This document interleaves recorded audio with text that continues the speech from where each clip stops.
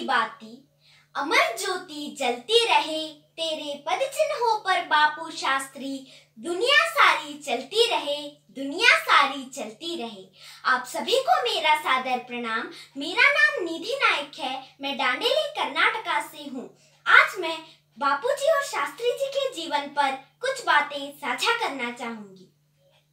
हमारा देश महान स्त्रियों और पुरुषों का देश है, जिन्होंने देश के लिए ऐसे आदर्श कार्य किए हैं जिन्हें भारतवासी सदा याद रखेंगे। कई महापुरुषों ने हमारी आज़ादी की लड़ाई में अपना तन, मन, धन, परिवार सब कुछ अर्पण कर दिया। ऐसे ही महापुरुषों में से थे महात्मा गांधी जी और शास्त्री जी।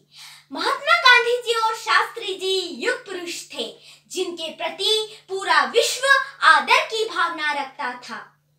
इन महापुरुषों का जन्म 2 अक्टूबर को हुआ था महात्मा गांधी जी जिनके बारे में कुछ अज्ञानी लोग कहते हैं कि गांधी जी ने क्या किया था?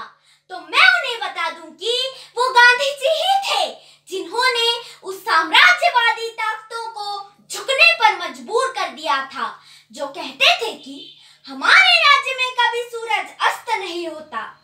वो गांधी जी ही थे जिन्होंने स्वच्छ भारत स्वस्थ भारत का स्वप्न देखा वो गांधी जी ही थे जिन्होंने राम राज्य का स्वप्न देखा। लाल बहादुर शास्त्री जी गांधी जी के अनुयायी थे। उन्होंने गांधी जी के साथ कंधे से कंधा मिलाकर देश के लिए संघर्ष किया। लाठियाँ खाई, अनेकों बार जेल गए। उनका जो जय जवान